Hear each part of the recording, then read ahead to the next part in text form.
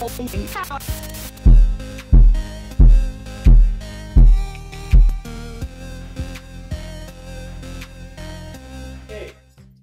what I'd like to do today is run a simple experiment for you with uh, some testing some paper towels. What we want to do is find out the absorbency of the various paper towels to see which one is more absorbent. So my question that I would want to be asking is, which brand of paper towel will absorb and hold the most water? That is my question. Now I've got four types of paper towels today. I've got Mega Roll paper towels sold at Walmart. I have paper towels, very plain Jane paper towels, sold at Walmart.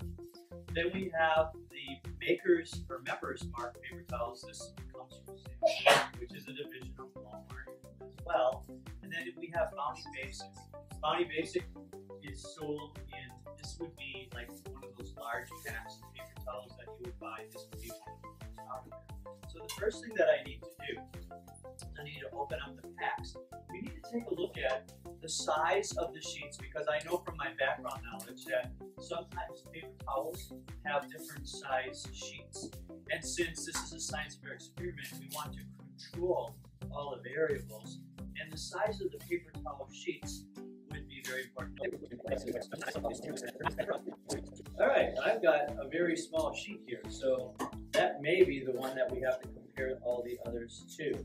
So since I discarded the first sheet on that roll, I am going to discard the first sheet on that roll just to control all of the variables. Now that one obviously ripped, that one's not going to be a good one.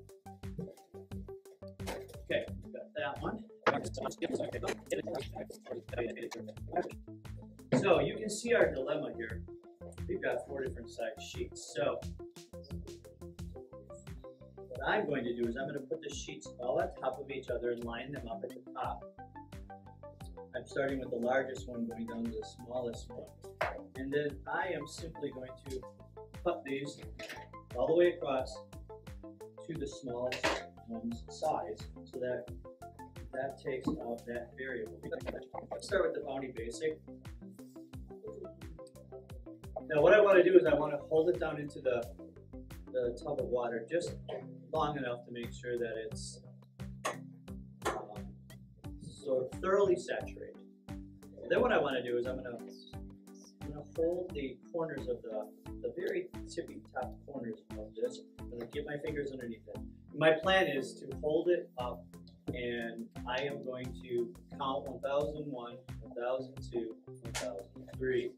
The reason why I do that is because I want the water that is not absorbed into it to drop back into this container before I move it over into my other container where I'm going to squeeze the paper towel. So,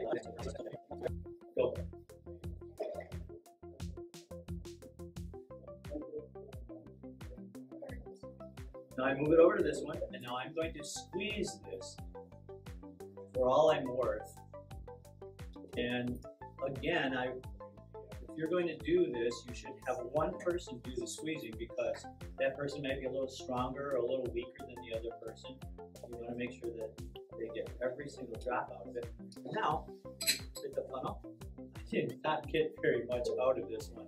I may have to go to a smaller graduated cylinder. All right, it looks like, uh, ladies, it looks like we have got 11, 11 milliliters for trial one.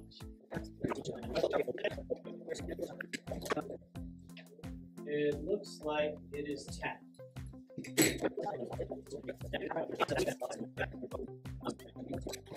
Okay, the members mark 20 milliliters. Uh, we're looking at 8 milliliters for the mega roll.